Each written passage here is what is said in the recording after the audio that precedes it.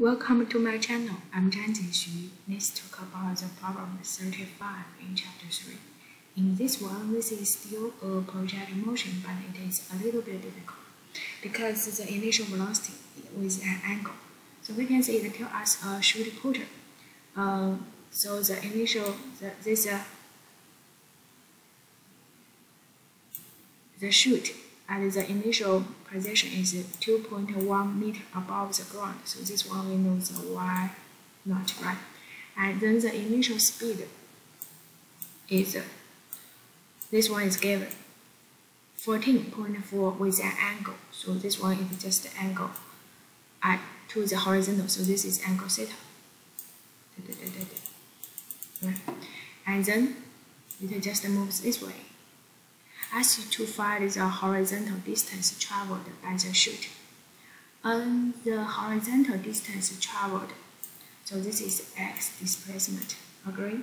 And we can see, we know the initial velocity and angle, so we project this initial velocity into x component and y component. We know Vox very easy. Vox is just this V naught times the size, and Voy is this a V naught times, oh sorry, V naught is V, is V naught cosine theta, Voy is V naught times sine theta. Now, next one, we know the velocity at x component. We know we want to find displacement, so we must get time t. Do you agree? Yes. Since the time t is a bridge in x and y component.